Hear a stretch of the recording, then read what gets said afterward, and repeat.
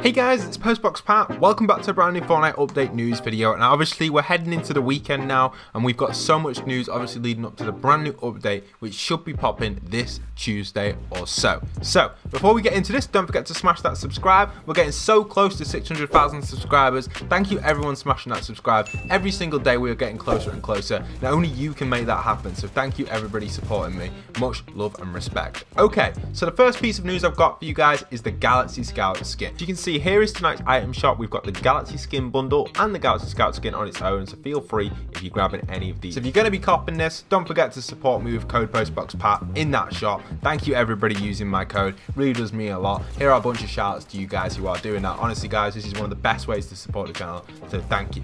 Okay, with that out of the way, with the Galaxy Skin coming in the shop, and obviously a lot of people probably going to be copping it, because I know it's a very hyped skin. My personal opinion is, I don't know if I'll buy it, because I want to save my V-Bucks, but I definitely might end up getting gifted the skin. I do like the skin. I do personally prefer the male version though. I feel like this one might be a little bit overhyped but I think it's pretty cool and obviously a female variant is always awesome to get your hands on so it's available feel free to grab it alright so moving on to the next little topic for you guys for those that haven't already seen the brand new event with Diplo his final event where he presents his higher ground event in party mode has just finished. I streamed it up on the channel and there were three Easter eggs during this event which have never ever been seen before in Fortnite event history.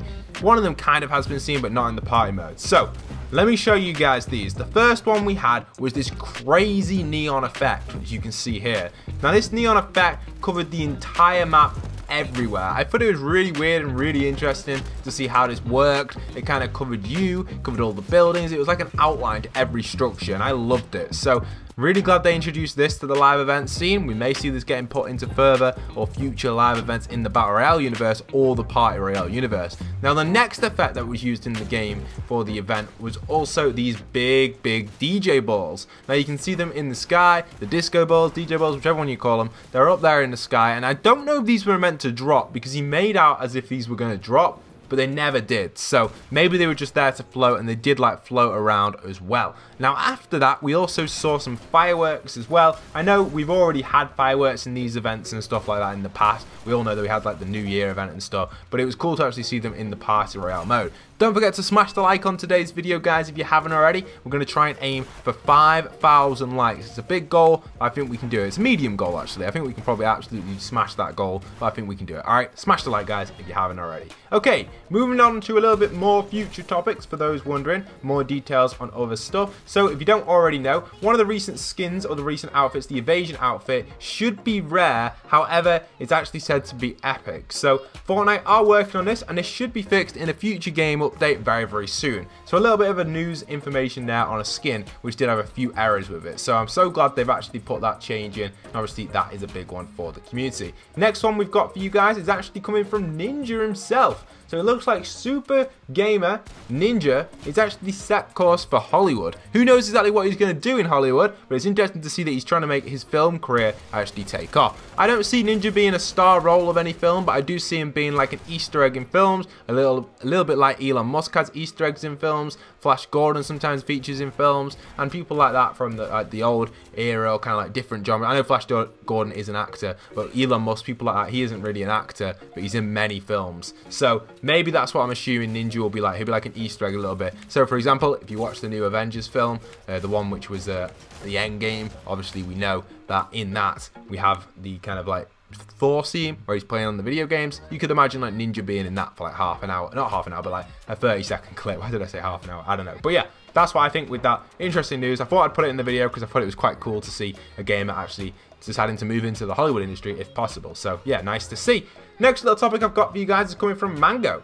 So Mango himself was talking about that he's almost 99% certain that the Grotto will have a new location at it next season. Because apparently there's a door sound effect, there's also cave sound effects and bat swarm sound effects.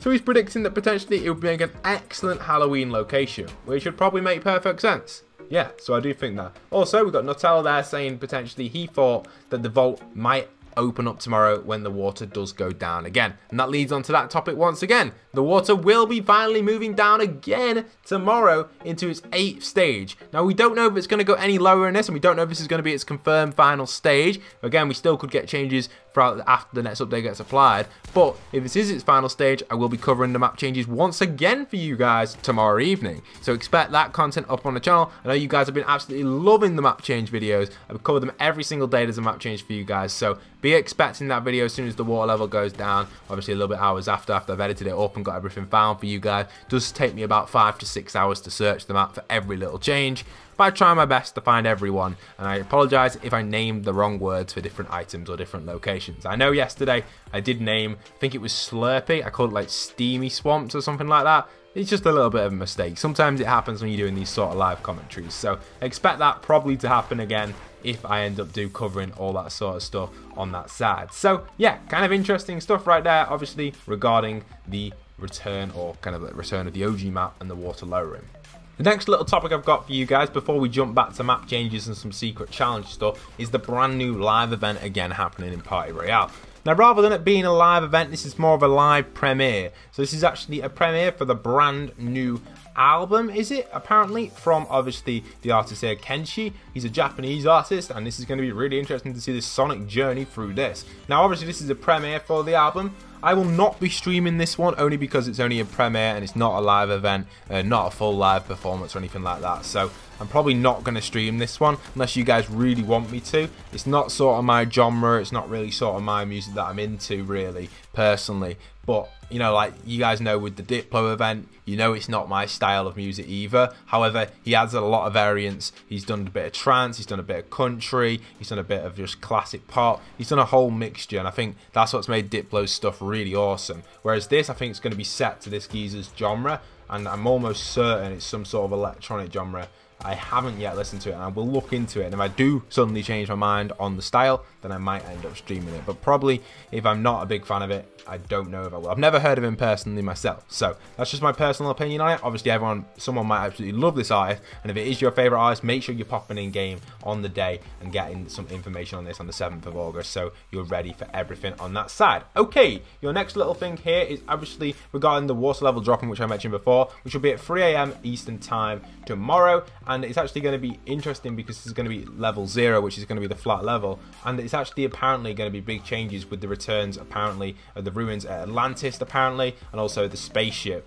uh, challenges which will be inside so accessible I don't know if this is the case I'll definitely upload the video earlier on uh, I personally disagree though I don't think Atlantis will be here and I also don't think that the uh, spaceship challenges will be here straight away either so I'm generally thinking none of this thing or none of this is going to be like uh, here tomorrow. I know the map will lose its water level. I just don't don't think they've got all the files to add in for this unless it's all encrypted. And there's obviously the spaceship challenges as well, which are part of this. So the spaceship challenges are kind of like similar to the visitor challenges apparently, and they're going to have different tapes potentially where you're going to be able to choose different stories and stuff. So if that is the case, I'll probably just do it on two accounts just so I can uh, get the full storyline if there's like two options in it and stuff. And I think this is definitely going to reveal some stuff in the world of Fortnite for us to tell us how the storyline is going to play out in the future. Now, a few people were commenting on yesterday's map change video saying, Pat, you didn't show off uh, the map change over by the actual ships.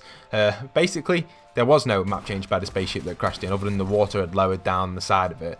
I just didn't really put that one in because I thought it wasn't really the really necessary. I only put the ones in that are big changes, like things that we've seen, oh, that wasn't there, that's new, or that's new, or that's new, or this is huge, you know what I mean? I just fly past the smaller ones. So that's why I didn't cover the ship in the video. Other than that though guys, that's going to be it for today's video. If you did enjoy it and you enjoyed all the news, smash a like on it, smash the subscribe if you haven't already. Hope to see you guys in future content on screen right now. I'll see you guys then. Done. So once again, leave a like, comment and subscribe. And this is Postbox Pat, signing out.